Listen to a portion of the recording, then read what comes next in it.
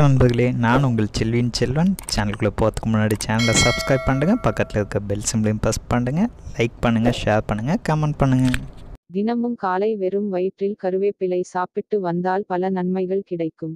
தற்போதைய காலகட்டத்தில் ஒரு சின்ன தலைவலி என்றால் கூட அனைவரும் மாத்திரையை தான் தேடுகிறார்கள்.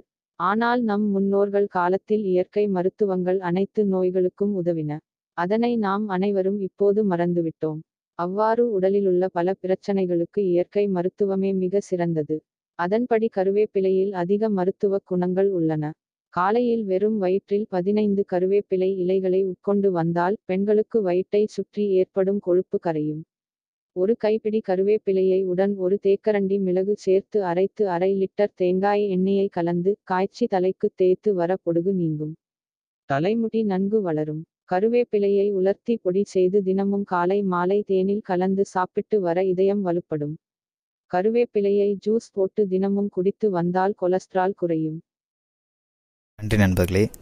அப்படியே செல்வின் செல்வனை சப்ஸ்கிரைப் பண்ணிட்டுங்க பக்கத்தில் இருக்க பெல் பட்டன் அமைக்கினீங்கன்னா நித்தம் புது தகவல் நிமிடத்தில் உங்களுக்கு வந்துடும்